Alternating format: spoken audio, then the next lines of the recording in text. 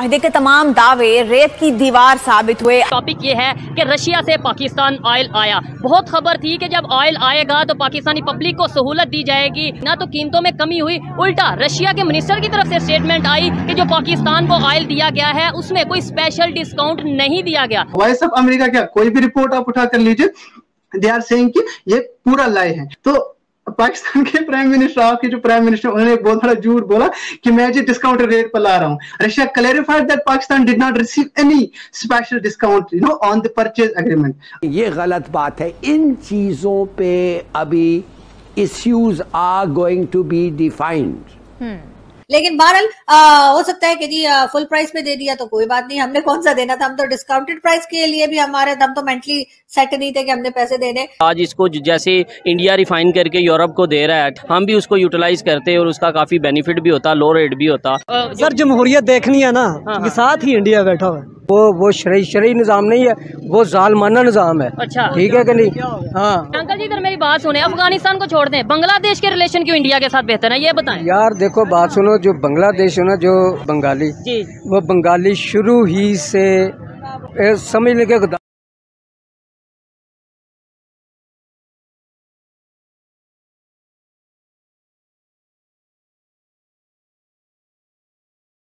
Russian oil जो हमने लिया है उसके लिए कहा जा रहा था कि जी रशिया ने हमें बड़ा डिस्काउंट दिया है और अब रशिया के ही एक, जो मिनिस्टर हैं, उन्होंने कह दिया कि जी हमने कोई भी डिस्काउंट पाकिस्तान को नहीं दिया है, यानी कि पूरे पैसों में ही हमें वो रशियन ऑयल मिला है। अब ये और बात है कि हम उनको पैसे जिस तरह से देंगे तो उसके बाद उनके आँसू निकल आएँगे। इसलिए कि पैसा तो है नहीं। तो अब अगर हमने मतलब फुल प्राइस में खरीदा है या हमने हाफ़ प्राइस में खरीदा है, हमें डिस्काउंट मिला है हमें डिस्काउंट नहीं मिला है, इस बात का तो इशू ही नहीं है। क्योंकि ये तो उस वक्त होता ना जब हमारे पास पैसे होते तो हम कहते कि जी हमें इनको देने हैं पैसे, हमें तो इनको सिर्फ़ गोली देनी है, हमने तो इनको सिर्फ़ फिरकी देनी है तो वो हम इन्हें दे देंगे। उसके लिए पैसे की ज़रूरत नहीं होती। और बहुत से लोग शोर मचा रहे हैं भारत से भी और पाकिस्तान से भी वीडियोज़ बना बना कि देखो जी देखो, ये तो इंडियन ऑयल है और इन्होंने रशिया से लिया है और रशिया ने कोई डिस्काउंट भी नहीं दिया। तो भाई कोई सा भी ऑयल है, ऑयल तो है ना। मतलब हमें तो ऑयल से मतलब है, वो इंडियन हो, चाहे रशियन हो, और जहाँ तक फुल प्राइस की बात की जा रही है तो फिर हो सकता है कि जी ऊपर वाला जो है, हमारा छप्पड़ फाड़ के हमें जो है ना वो पैसे देने वाला वो जो कहते हैं ना कि ऊपर वाला जब भी देता, पूरा छप्पड़ फाड़ के देता। लेकिन बहरहाल हो सकता है कि जी फुल प्राइस पे दे दिया तो कोई बात नहीं, हमने कौन सा देना था? हम तो डिस्काउंटेड प्राइस के लिए भी हमारे, हम तो मेंटली सेट नहीं थे कि हमने पैसे देने। अगर वो रशिया वाले ये बात करके खुश हो रहे हैं कि पाकिस्तान को उन्होंने फुल प्राइस में ऑयल दे दिया है तो खुश हो जाने दीजिए ना। उनको वो फुल प्राइस हम इतना रुला रुला के देंगे कि उनको मज़ा नहीं आना उन पैसे का। सबसे पहले जावेद साहब, आप इस बात का जवाब जवाब दीजिएगा कि हम लोग यही चाह रहे थे कि हम लोग सस्ते दामों, जो इंडिया ने किया है, हम भी सस्ते दामों खरीद लें। लास्ट वीक यानी कि कुछ दिन पहले आ गई चीज़ें सामने और हमने सस्ते दामों इसको खरीद कर अपना नाम रोशन कर दिया, लेकिन आज जो है वो सारी चीज़ें सामने आ रही हैं। आप इस बारे में क्या कहना चाहेंगे? आपके प्राइम मिनिस्टर साहब जो है वो उठ के ट्वीट कर लेते हैं और उसको पता भी नहीं है कि मैं जो ट्वीट कर रहा हूँ, ये अगेंस्ट जाएगा। वॉइस ऑफ़ अमेरिका क्या? कोई भी रिपोर्ट आप उठा कर लीजिए।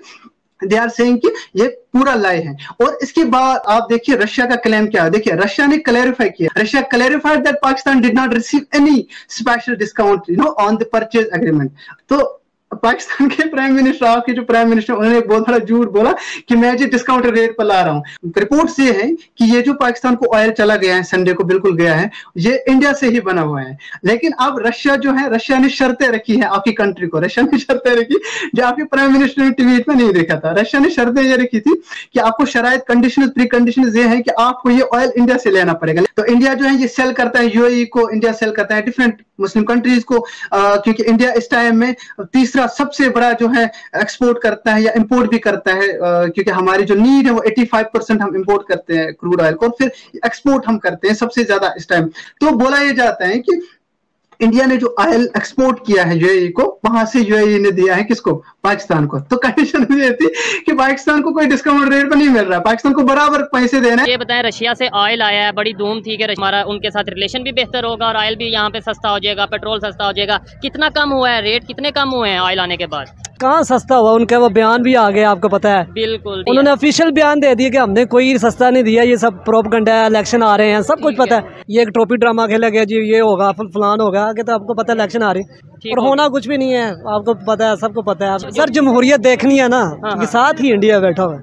हम उसको दुश्मन मुल्क कहते हैं सब कुछ कहते हैं। देखें आज कहाँ तरक्की कर गए कि उनके अंदर की मुदाखलत कोई नहीं कर सकता ना किसी की ज़रूरत नहीं है। उनके पार्लियामान के अंदर कोई मुदाखलत करे।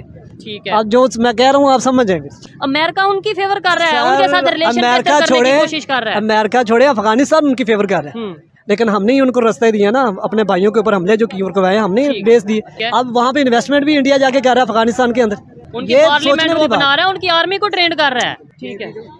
क्या क्या ये भी तो देखो अगर उसने इन्वेस्टमेंट की और इंडिया ने तो उसका हाल क्या हुआ? क्या हाल हुआ? जनाब वो आपके आप आपके सामने उनका जो लगा हुआ था उन्होंने एक आना भी उसे उसे वापस नहीं किया। नहीं नहीं अभी की बात कर रहे हैं। अभी जो इंडिया और अफ़गानिस्तान तालिबान के साथ जो रिलेशन है क्या बेहतर नहीं है? यार तालिबान को तो एक साइड पे छोड़ दें वो तो किसी को किसी को मानते नहीं है। क्योंकि शुरू ही से जब से पाकिस्तान बना है हाँ। ये लोग ये ये जो अफ़गानिस्तान है ना हाँ, हाँ। आज तक इसने पाकिस्तान को दिल से तस्लीम नहीं किया। ठीक हो गया। बेशक को तालिबान आया। क्या वजह वो इसलिए नफरत की नज़र से देखते हैं अफ़गानिस्तान।